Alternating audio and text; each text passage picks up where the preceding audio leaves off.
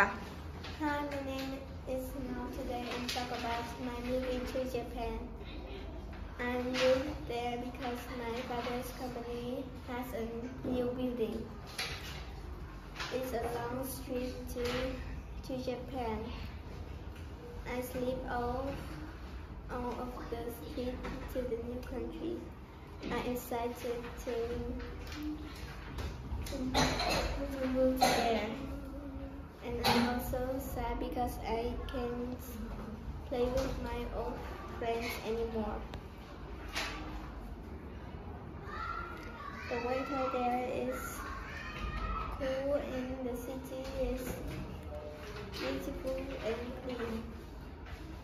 In spring there's a there's a festival of blossom flowers and that's my favorite festivals in Japan.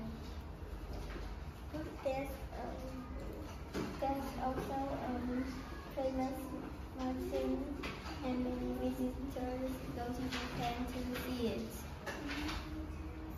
Thank you and bye.